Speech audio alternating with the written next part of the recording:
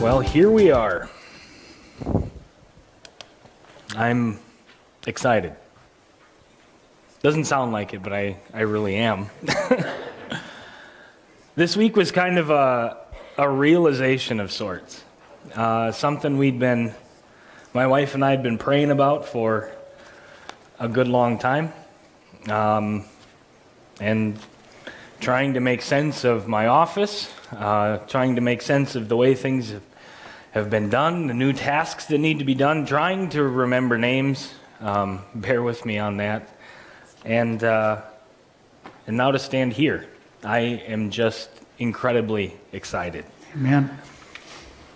I, however, and I know this is a little cliche, I'm not terribly excited about the weather. I know, like, that's the easiest spot for us to go. Like, that's the icebreaker. Oh, how about that? Uh, but I'm not excited about it at all. And as Minnesotans, we all know what those things are up on that screen, don't we? Did anyone get to use them this week? Yes? We'll, we'll pray for you. you know, my car was none too eager to start this week. I don't know about yours. Uh, it lives outside, so it, it wasn't exactly eager to start. You know, and so we live in Minnesota. We know that sometimes those cables need to then come out of the trunk. But then there's other reasons we have to use them as well. Scripture says that we can confess our sins to one another. Anyone else ever left the dome light on overnight? Left the lights on overnight? Most of us. And so the cables come out of the trunk. The mechanic told me in the spring of this year that, that my car needed a new battery. And so, in my wisdom, I thought, nah, no, that's only his job, it's only his profession. He can't possibly be right. So I didn't. I thought to myself, well, you know, I just put a battery in my wife's car yesterday, and I've got a manual transmission, so I'll just park on a hill, and all will be well. And so the cables come out of the trunk. the, the spirit was willing, but the flesh wasn't able, so to speak. And, and we know that when that happens, it, the battery might kind of still be good, but it just needs a little bit of encouragement. It just needs a little more strength. It just needs that jump start, right? To get it going, to get it to do what it is supposed to do. And we can be like that sometimes as well. Everyone, what you and me and every person who has ever gathered breath has failed up to live to their intended purpose at some point in life. Some of us, it's every day.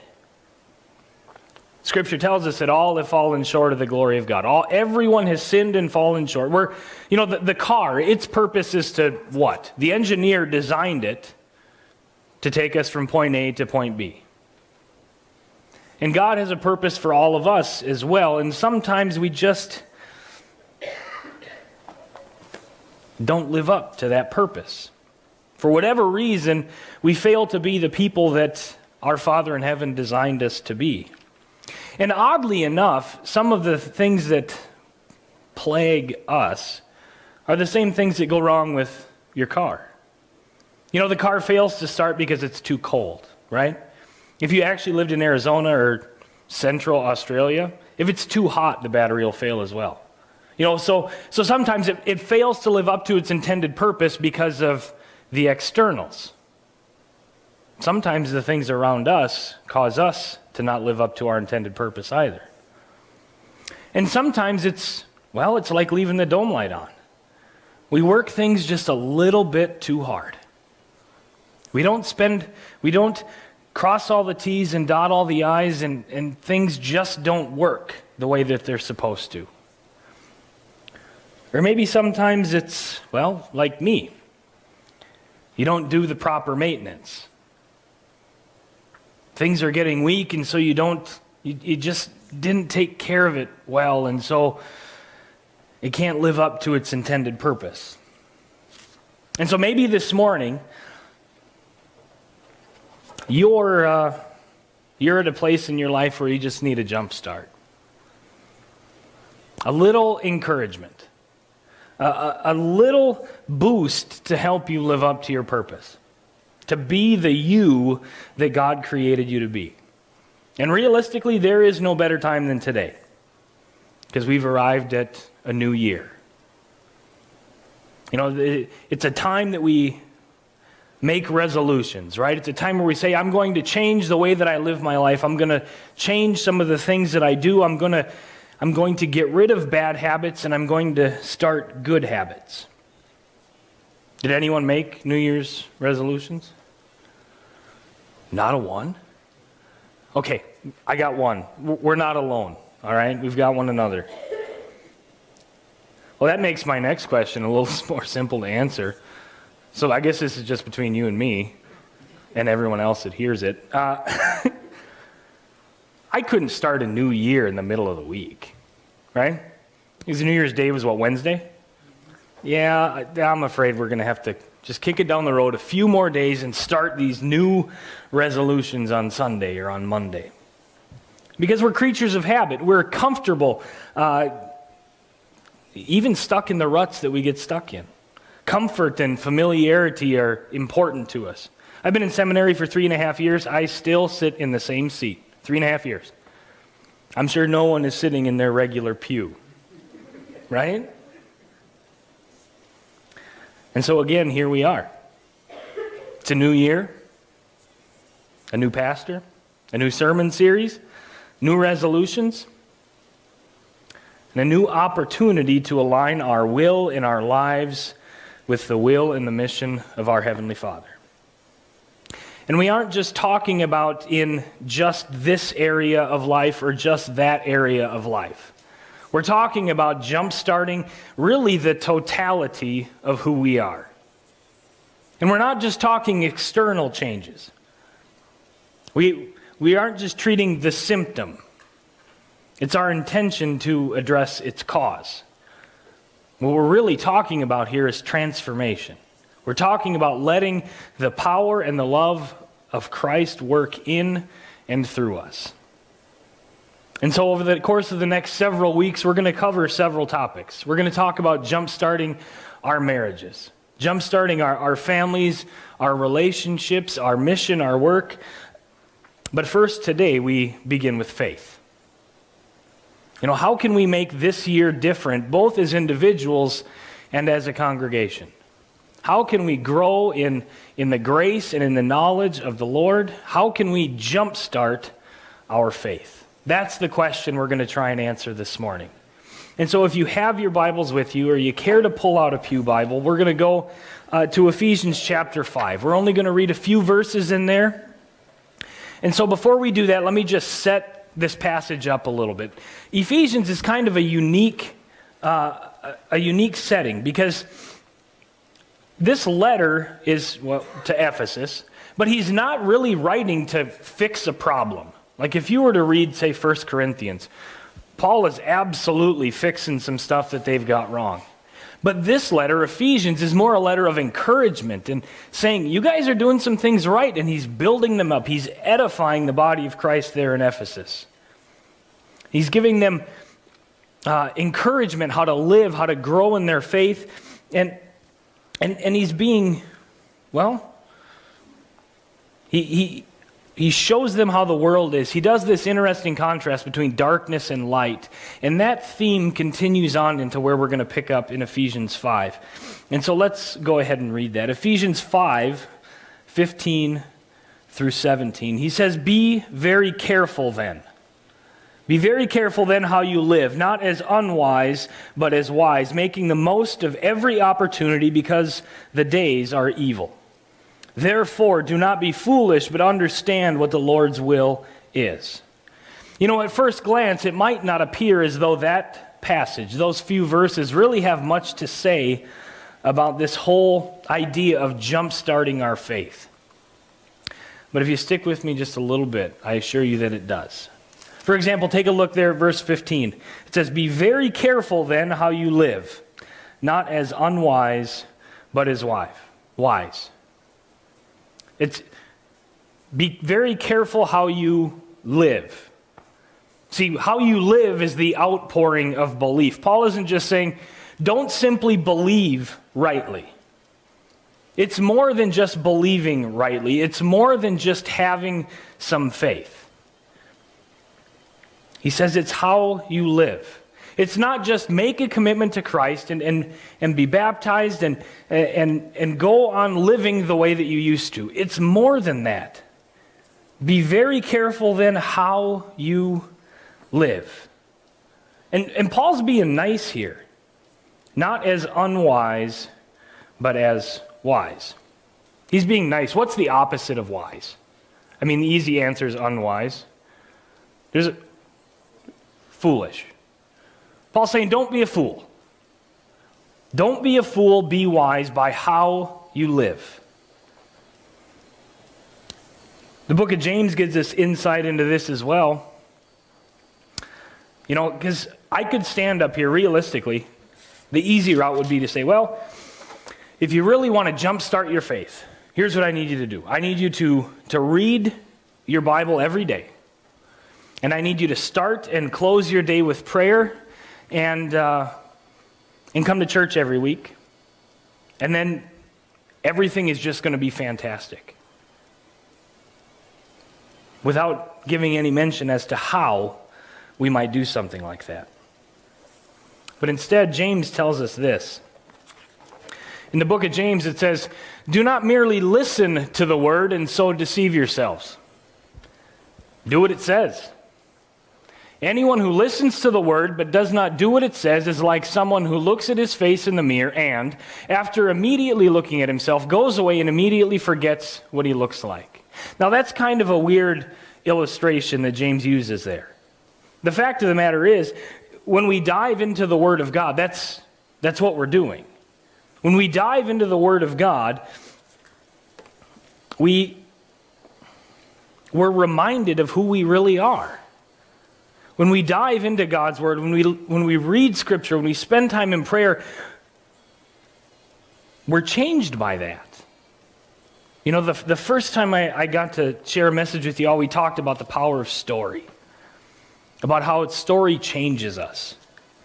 And here in, in James, he's saying, look, don't just read the words on the page.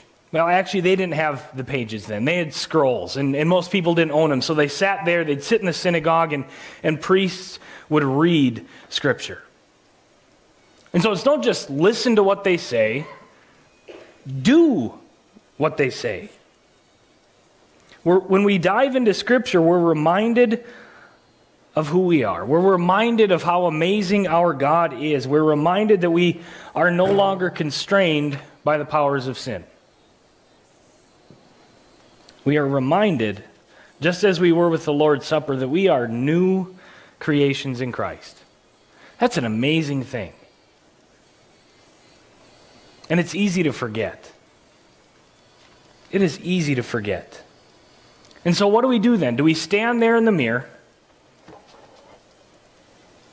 Scripture tells us that, that the Word of God is sharper than any two edged sword, that it, that it divides joints and marrow, that it separates soul from spirit, and that the Word of God lays bare the conditions of our heart. Do we, do we come into that relationship with the Word of God?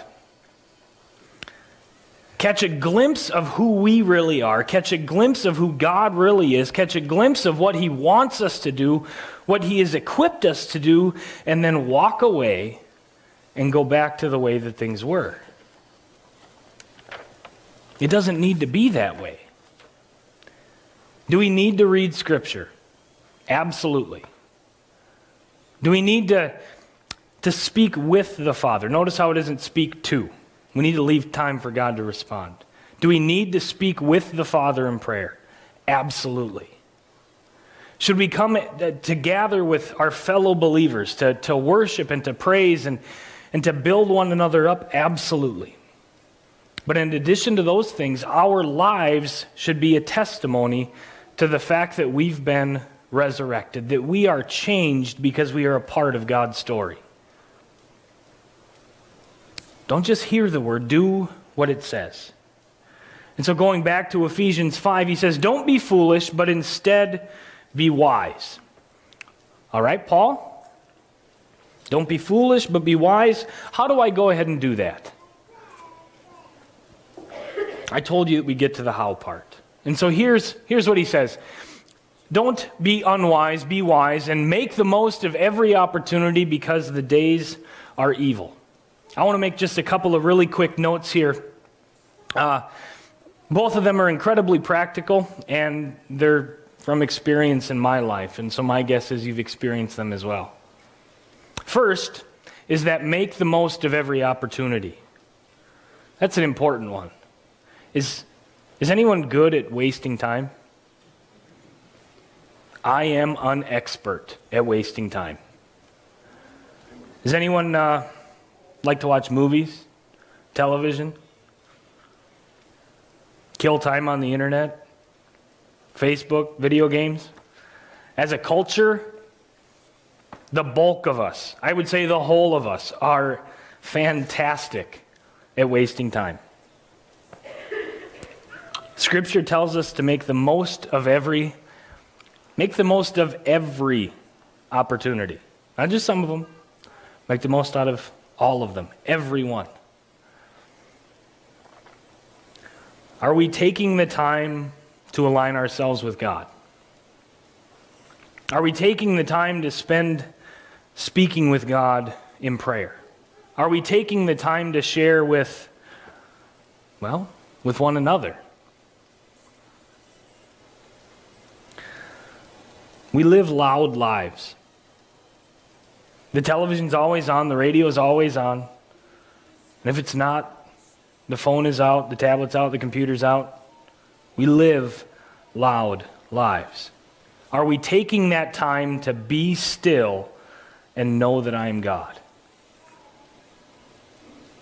The second thing I wanted to bring up out of this was that we need to have the right perspective in, uh, on our lives, in our lives. And here's what I mean Who knows the day or the hour of Christ's return? Who knows the number of his days? Nobody. So, what does that mean? Today might be the day. No, today might be the day. It might be the day for an individual. Or it really might be the day when Christ calls all those who call him Lord home. That should change the perspective. That, that should change the way that we live our lives. I remember preaching a message talking about, you know, I'll, I'll challenge you in the very same way. Start your day with reminding yourself that today might be the day. Because it really might. You know, all of a sudden, seizing every opportunity might be just a little bit easier because it might be the day. Those few minutes spent uh, uploading things to Facebook or you know, those could have been a few minutes that you got to play with your kids. Those could have been a few minutes that you could have told your spouse that you love them. That TV show could have gone unwatched, and that Bible be, could, could have become read. Seize every moment. On your drive to work, that radio morning show could have given way to a conversation with God. That's one of my favorite places. You can pray with your eyes open. That's one of my favorite places to pray. Just shut the radio off. Nobody's going to hear you. They might think you're crazy. And just talk with God. And then Paul goes on. Why should we seize every opportunity? It says, because the days are evil. They are. They are. It doesn't take long for a full battery to run down when the alternator quits working. Does it? The world around us is a tough place. Life can just be brutal. And relationships can be, well, they can be hurtful. And they can be just emotionally draining on us. So, doing the right thing, growing in that grace and knowledge of the Lord, being wise and not foolish, that can be tough when we're surrounded with the evil in the world. You know, it's tough to have clean speech, like Mike talked about last week. It's tough to have clean speech with the language that's on television. You know, it's tough to have clean thoughts with the images that we're bombarded with on television and the inter- really just everywhere. And so, what do we need to do? We need to continue to fill up those spiritual batteries, right? Keep that alternator running. We not only read the Word of God and do what it says, but we remain, we remain cognizant of the fact that today might be the day. And we never let our guard down. One of the more famous things that, that Paul said is he says it in Ephesians 6:12 just a little bit down the page. He says, "For our struggle is not against flesh and blood, but against the rulers, against the authorities, against the powers of this dark world, and against the spiritual forces of evil in the heavenly realms. Therefore, because this evil exists, because this is happening, put on the full armor of God. There is a battle going on. And that passage is strange and it's tough to make sense of. And what exactly is he talking about? And what does that look like? But there's a battle that's been waged. In 2 Timothy 3 12 through 13, it says, It's plain as day. Everyone who wants to live a godly life in Christ Jesus will be persecuted. While evildoers and impostors will go from bad to worse, things aren't going to get better, it says. Deceiving and being deceived. Persecu- persecution doesn't always mean that the believer is going to be hunted by men or persecuted by governments. Persecuted doesn't always mean that belief or faith are going to be illegal. It can also mean that we will be spiritually attacked.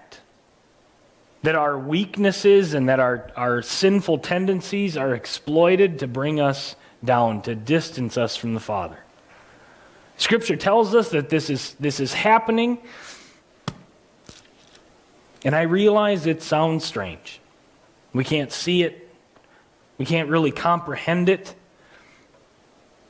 But yet, the Word of God tells us it's happening.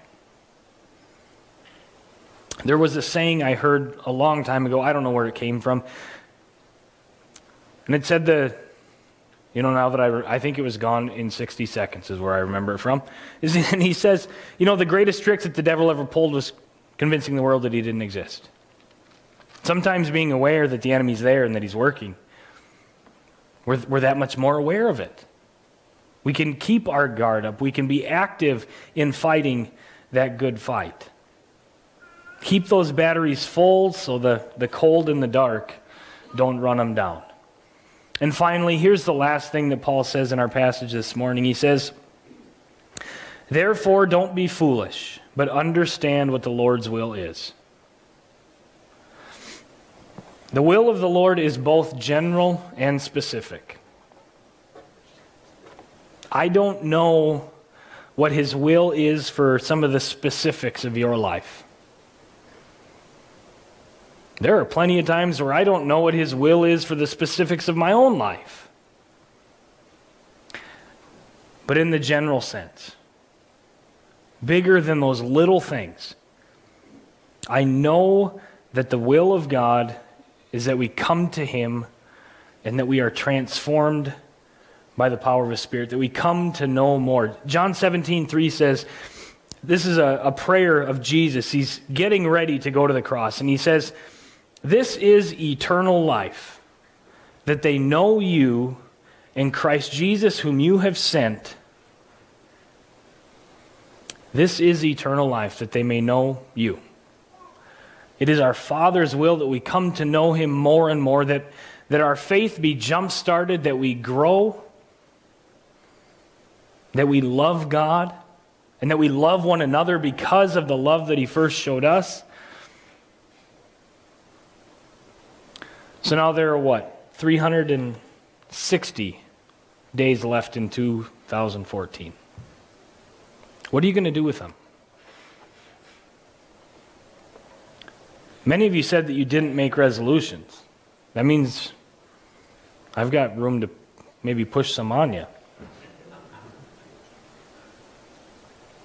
I, I want to challenge you to jumpstart your faith this year. You know, what are the things we normally make resolutions for? I want to spend more time with my family. Actually, that one usually comes down the road a little ways. Usually it's I want my sweater to fit better, right? It's I want to get in better shape, or I want to eat healthy, or I want to manage my funds better. I want to finally get to that hobby that I bought all the stuff for and haven't started working on in three years. Shouldn't our faith be more important? If we want to improve on the externals, let's work on the internals. You want to become a better husband, a better father, a better mother, a better wife? Start with your relationship with God. If you want to value yourself, like get fit, right? Body's a temple of the Holy Spirit. Go to God's Word and see who God says you really are. When you come to this and you, you really believe what God says about you, how He loves you, so much so that He sent His Son to die for you, there's some self worth in that. If you want to change the outside, start on the inside. Resolve to building up the interior. Allow the Holy Spirit to work. Seize those moments to grow in your faith. Seize those moments. Go to the Word and be reminded of who you really are in the eyes of the Lord. Go to Him, come to Him, and be renewed and be energized, and then go out into that world and do what it says. One of my resolutions was to try and keep these under 35 minutes. And I could continue. Because it, it's a big task. There are many times where I kind of need a kick in the shorts to get things going. Ask my wife, she'll tell you. And so here we come to, to worship, to praise, and to be encouraged, to be edified, to be built up, to go and become the people that God knows that we can be.